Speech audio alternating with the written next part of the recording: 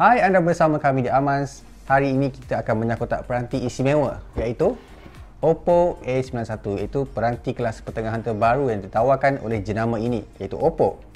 Kita akan melihat apa yang berada di dalam kotak ini apabila anda membelinya dan kita akan jelaskan sedikit fungsi yang terbaru diletakkan pada Oppo A91. Tanpa melengahkan masa lagi, mari kita mulakan yang kotak. Dan sedikit komen mengenai kotaknya, bagi kami ianya agak menarik dan ternampak seperti sesuai untuk digunakan oleh golongan muda. Kerana ini cukup menarik dengan gambaran uh, peranti ini sendiri. For yang cukup boleh dikatakan pop dan warna yang boleh dikatakan favorite kami juga. Okey, baiklah. Mulakan yang kotak, kita akan buka dahulu plastik ini. Angkat sahaja kotak, anda akan terus dapat lihat tiada apa-apa tetapi ini adalah kotak kecil yang mana di dalamnya mengandungi silikon case ataupun kerangka lembut dan juga beberapa manual penggunaan. Yang mana kami akan letakkannya di tepi dahulu. Kemudian peranti ini sendiri iaitu Oppo A91 yang dibaliti dengan plastik. Di sini tertera 48 megapixel AI quad camera tapi kami akan jelaskan sebentar nanti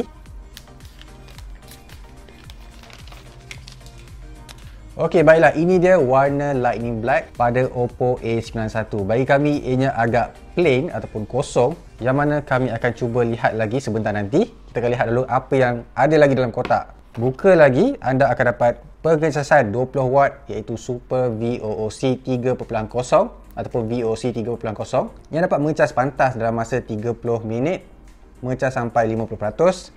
Kemudian, kabel ataupun wire USB-C uh, kepada USB-A dan juga phone telinga berwayar yang menggunakan 3.5 mm headphone jack ataupun port audio. Baiklah tanpa melengahkan masa lagi kita akan jelaskan beberapa fungsi baru yang ada pada Oppo A91.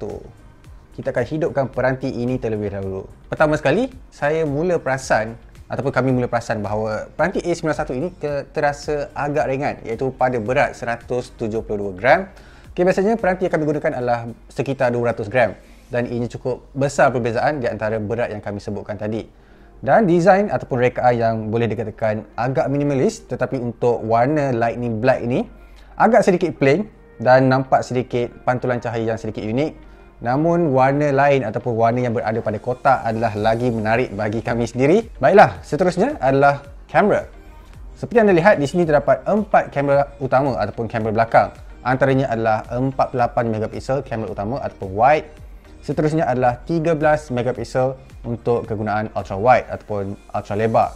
Kemudian dua lagi sensor ataupun lensa kecil ini adalah 2 megapiksel uh, chrome dan juga uh, depth sensing camera. Fungsi baru pada kamera ini adalah ia dapat mengesan ataupun dapat uh, mencantikkan wajah apabila bukan sahaja menangkap gambar, malah apabila anda merakam video dan sebagainya. Kerana ia dapat mengesan muka untuk mencantikkan lagi wajah ketika membuat rakaman video ataupun mengambil gambar. Antara yang lain lagi adalah pada Oppo A91 ini juga mereka mempromosikan bahawa gambar ataupun mode portrait yang ada pada Oppo A91 adalah uh, apabila anda menangkap gambar portrait dapat merakam ataupun menangkap gambar HDR iaitu High Dynamic Range kemudian bokeh yang lagi cantik ataupun boleh diubah. Antara yang menarik perhatian kami adalah boleh dikatakan antara yang pertama juga kami gunakan adalah night portrait. Kami faham uh, anda memang sememangnya suka mengambil gambar ketika waktu malam dan fungsi night mode ada pada peranti mana-mana peranti pada masa kini. Tetapi mode portrait ataupun night portrait ini adalah antara yang pertama. Namun kita akan mengujinya dalam masa akan datang bagaimanakah uh, fungsinya ataupun uh, hasilnya menangkap gambar night portrait sama ada kamera belakang ataupun kamera utama dengan kamera hadapan. Baiklah melihat kepada hadapan peranti ini pula, ia menggunakan skrin sebesar 6.4 inci iaitu cukup besar untuk peranti kelas pertengahan. Kemudian teknologi yang digunakan adalah AMOLED iaitu sebuah skrin sejenis uh, OLED. Resolusi yang ditawarkan pula adalah Full HD+. Bagi kami ianya cukup memadai kerana banyak lagi peranti mercu yang lain masih menggunakan Full HD malah bawah daripada itu sekalipun. Pada bahagian atas, ianya menggunakan takuk sejenis V ataupun boleh dikatakan sejenis V mengikut apa yang Samsung katakan. Dan di bahagian bawah ataupun dagunya agak sedikit tebal boleh kata kami boleh maafkannya di situ kerana ini adalah peranti kelas pertengahan. Baiklah apa yang terdapat lagi pada skrin? Ianya menggunakan uh, pengimbas siap jari di bawah skrin ataupun sejenis uh, optical bukan sejenis ultrasonic dan sebagainya bagi kami ianya cukup berbaloi ataupun bagus kerana ianya dapat mengenal kunci peranti dalam masa 0.29 saat ataupun 0.32 saat sahaja. Apa yang anda lihat di sini adalah ianya menjalankan sistem operasi ColorOS 6.1. Masih lagi belum uh, ColorOS 7.0 namun kami faham kerana ianya berasaskan Android 9.0 ataupun Android Pie. Anda masih dapat lihat ianya berjalan dengan lancar, tidak ada lengah masa dan sebagainya kerana peranti ini masih lagi baru. Kami masih akan mengujinya di masa akan datang dalam video ulasan akan datang. Bateri yang ada pada Oppo A91 ini adalah 4000 mAh. Boleh dikatakan agak besar untuk peranti kelas pertengahan dan boleh dikatakan tahan lasak, tahan lama.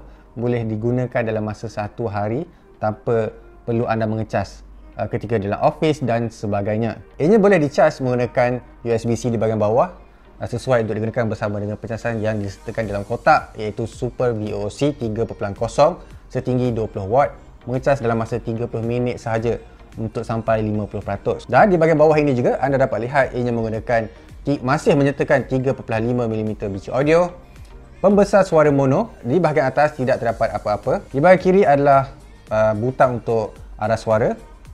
Butang kuasa pada sebelah kanan dan itu sahaja boleh dikatakan agak nipis. Peranti ini tebalnya adalah 7.9mm sahaja. Ber- berbeza sangat dengan peranti kelas merci yang lain yang mempunyai fungsi yang lebih kompak. Spesifikasi yang ditawarkan di sini adalah ia menggunakan chip pemproses daripada uh, MediaTek iaitu Helio P70 dengan RAM sebesar 8GB iaitu agak gergasi untuk peranti kelas pertengahan. Kemudian storan dalaman di sini yang kami dapat adalah 128GB dengan slot uh, micro SD untuk membuat penambahan secara eksternal. Jadi, itu sahaja nyah kotak uh, Oppo A91 ini. Apa kata anda terhadap peranti ini? Adakah ini cukup menarik untuk anda uh, beli ataupun membuat keputusan uh, memilih peranti ini berbanding peranti kelas pertengah yang lain, sila tinggalkan komen di bawah. Buat masa ini, kami belum menerima sebarang harga rasmi untuk peranti ini. Sila nantikannya di laman web amas.my untuk pengumuman akan datang. Seperti biasa, like, share dan subscribe. Kita berjumpa lagi di video seterusnya.